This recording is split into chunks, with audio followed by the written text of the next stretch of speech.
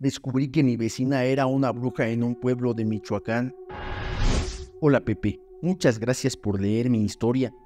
Escucharte siempre me conforta mucho, y más porque lamentablemente estoy sola en este mundo y a veces no tengo ni con quién platicar. Yo solo tenía a mi madre como única familia, así que el día que falleció tomé la decisión de irme de Morelia, de donde soy originaria.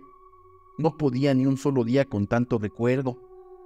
Me fui a un pueblo cercano, a unas dos horas de ahí, pero nunca imaginé que me encontraría con algo que me cambiaría la vida para siempre. Las calles empedradas y las casas tan cuidadas me recordaban mi infancia en el campo, y una sensación de paz y tranquilidad me llenaba cada vez que miraba por la ventana. Sin embargo, esa paz pronto se vio interrumpida por una serie de sucesos tan extraños como aterradores, todos relacionados con mi vecina de al lado. Para empezar, mi vecina tenía una apariencia sin igual. Su belleza era casi irreal, con largos cabellos oscuros que caían brillosos y ojos tan grandes y únicos de color amielado. Siempre llevaba vestidos largos y antiguos, dándome la impresión de que había salido de otra época.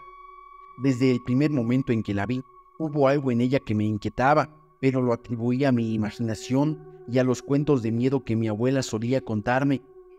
Mi primera experiencia extraña con ella ocurrió un domingo por la mañana.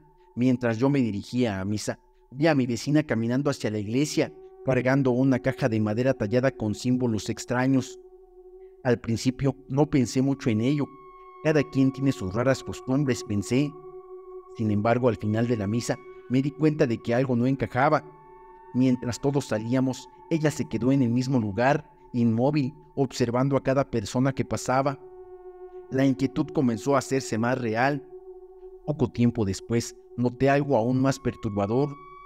Habitualmente, varias personas entraban a la casa de mi vecina, sobre todo niños, pero nunca los veía salir. Podían ser amigos, desconocidos, incluso personas del pueblo, pero una vez que cruzaban esa puerta era como si desaparecieran, pero nadie hacía nada. Me atreví a preguntarle a algunos otros vecinos, pero todos guardaban silencio, cambiando rápidamente de tema o advirtiéndome que no me involucrara. Las noches eran aún más aterradoras.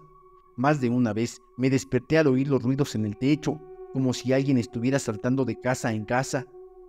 Al principio pensé que podían ser gatos o algún animal buscando comida, pero los sonidos eran demasiado fuertes y constantes y siempre parecían venir de la dirección de la casa de mi vecina.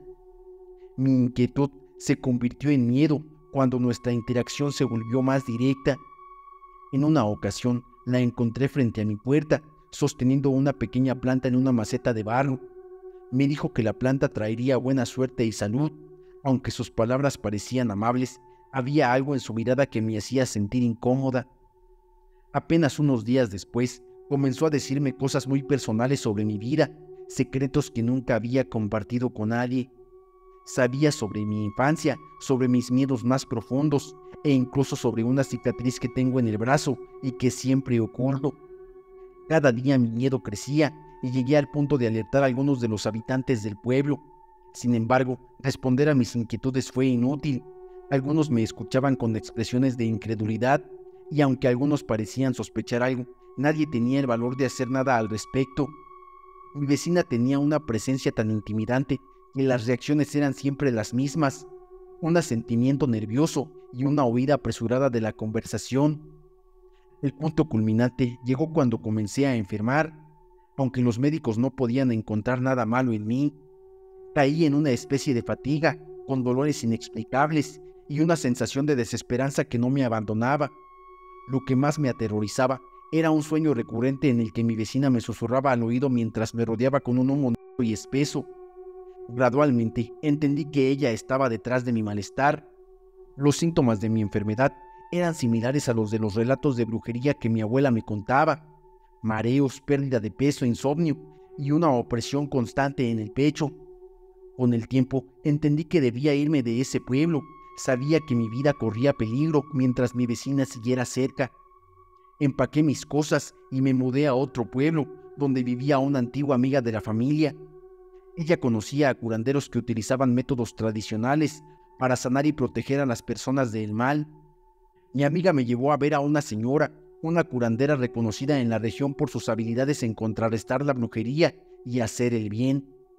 Desde el momento en que ella me miró, supe que entendía mi sufrimiento. Me llevó a su casa, un lugar lleno de aromas de hierbas y velas encendidas. Comenzó a purificarme con una limpieza energética, utilizando ramas de pirul y huevo y murmurando oraciones antiguas. Durante días, aquella curandera trabajó conmigo. Cada sesión era un combate contra la oscuridad que mi vecina había sembrado en mí. Usaba hierbas como ruda y salvia y siempre concluía cada sesión con baños de agua de ramas y flores. Ella me dijo que efectivamente la bruja me había hecho bastante daño y que mi sueño aquel no era tanto un sueño. De alguna manera ella había entrado a mi casa y no era lo único que me había hecho.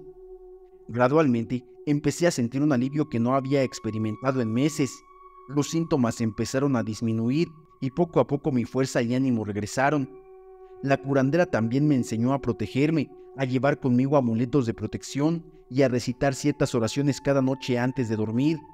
Me habló de la importancia de la fe y de mantener una actitud positiva, de creer en la bondad y el poder curativo de la naturaleza. El proceso de sanación no fue inmediato, pero con el tiempo me recuperé completamente. No volví a escuchar esos ruidos nocturnos ni a sentir esa opresión en el pecho. Agradecí enormemente a la curandera y a mi amiga por ayudarme en esos tiempos tan oscuros. Me di cuenta de que incluso en los momentos de mayor desesperación, siempre hay alguien en quien puedes apoyarte, a pesar de haber perdido a todos tus familiares.